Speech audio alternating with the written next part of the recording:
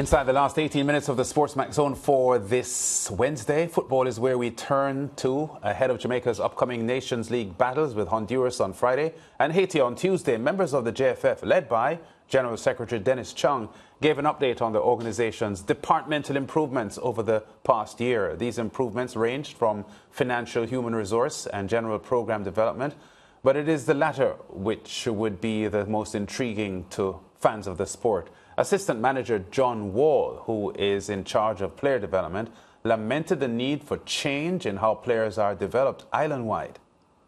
We want to expand our development more onto the ground, trying to reach players on an everyday basis as much as we can. Because, as far as I'm concerned, every day that ends with a Y, you can train and every month of the year you can train and compete. Whereas in Jamaica, I'm not going to wrestle the elephant at all. The school system is here and it's going to be here. School boy, school girl. But what happens to the 12 year old who might be a little bit late developed? And she's a girl. Is she supposed to play against 19 year olds? I think we have to look ourselves deep into a reflection mirror. What are we doing with the kids? Yeah, Wall also spoke on the Federation thinking beyond the next World Cup cycle. My concern is more not to qualify for the World Cup. My concern is how are we going to look at 2027? How are we going to look now that the girls did such a great World Cup? I'm always thinking ahead and looking at the future. That's my role. And playing that smart part is really important. And whatever we do with what we have, we need to maximize it. Because the talent is one thing, the work is a complete different thing. Yeah, positive signs from the JFF. Will the positivity spread onto the pitch? I guess that's a question that we would ask Chapel.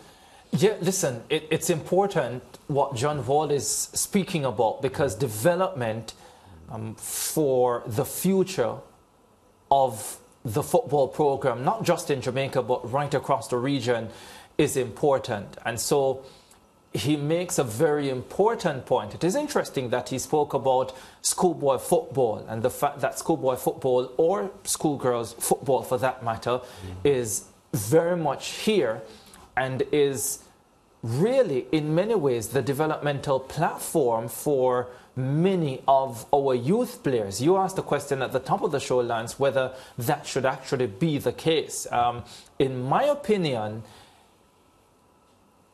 systems will differ, and you have to find the system that works best um, for you.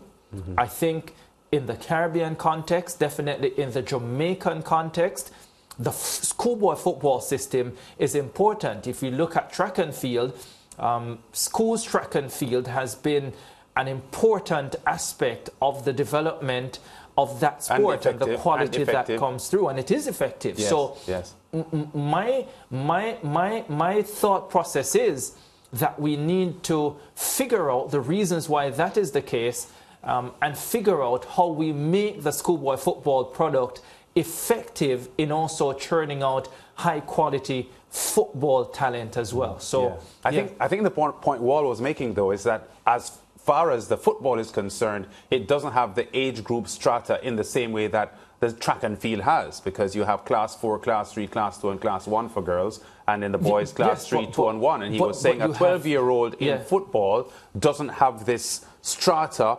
of going through the different developmental stages as that person would have if he or she were a track and field athlete. But not so, Lance, because you have U14 football, you have U16 football, um, U14 is what in my day they called Pepsi. U16 yeah. they called Colts. And and I, then I know, you have but I guess Manning he, and the Costa Cup, which he, is the he, U19. He referenced a girl. Yes.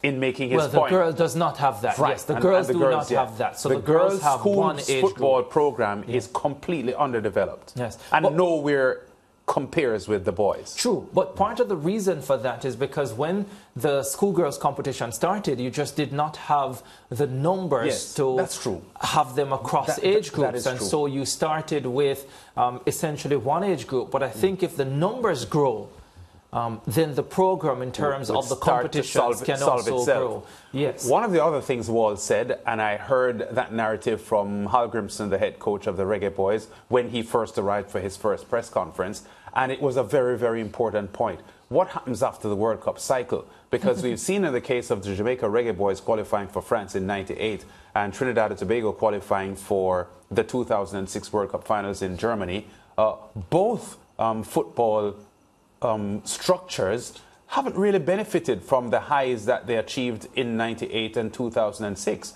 And uh, it speaks to an infrastructural problem or deficiency where, you know, uh, administrators focus on trying to qualify for World Cups without developing the base. So I think um, John Wall touched on a serious issue there that has to be tackled by not only the JFF but all football federations in the region. Yeah, yeah, for sure. I agree totally, Lance. Break time. Back with more after this on the zone.